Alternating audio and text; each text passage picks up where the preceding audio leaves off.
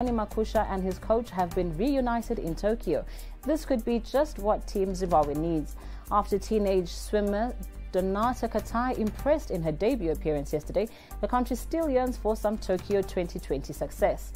Makusha and his coach David Tinago had already conducted a few training sessions ahead of the men's 100 meter heats on July 31st. ZTN caught up with Tinago, who was a late replacement for national coach Pagamile Lisimati, who tested positive for COVID 19. Um, this is an added advantage for him, for me to be here.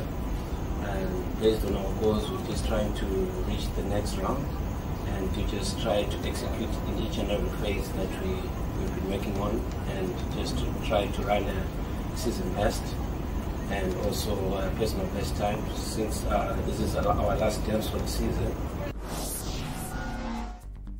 For Makusha, this is a timely boost ahead of his race. Uh, I'm really excited. Uh, my coach is here, uh, which is something I wasn't expecting.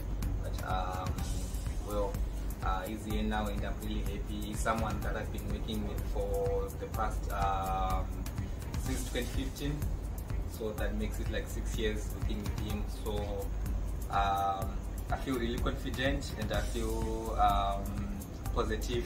Uh, we, we did a training session and uh, everything is looking good.